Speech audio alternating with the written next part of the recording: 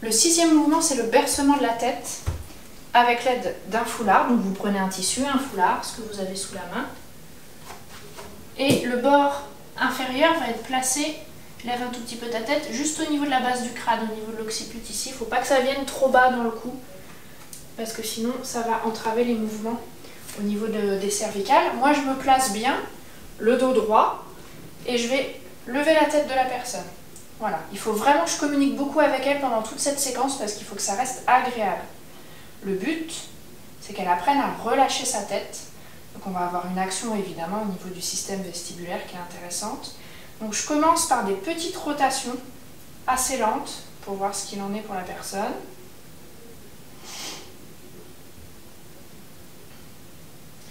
Puis petit à petit, je peux augmenter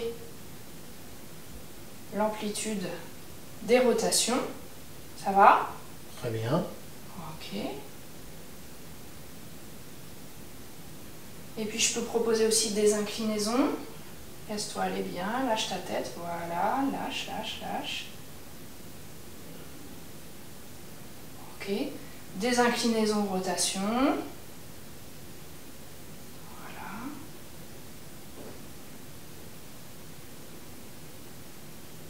Je peux faire des flexions, relâchement, flexion, relâchement.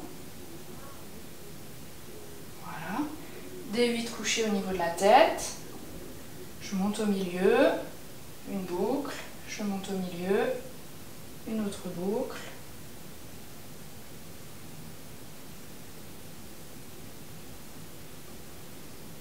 Et voilà. Ça c'est la version en passif, c'est la version bercement, où la personne fait vraiment euh, l'apprentissage du lâcher prise là au niveau cervical.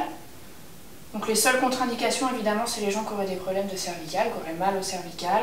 Certaines situations de handicap, il faut bien se renseigner à l'avance, notamment les personnes en situation de trisomie, on ne leur pratiquera pas euh, a priori ce, ce bercement-là. Je repose.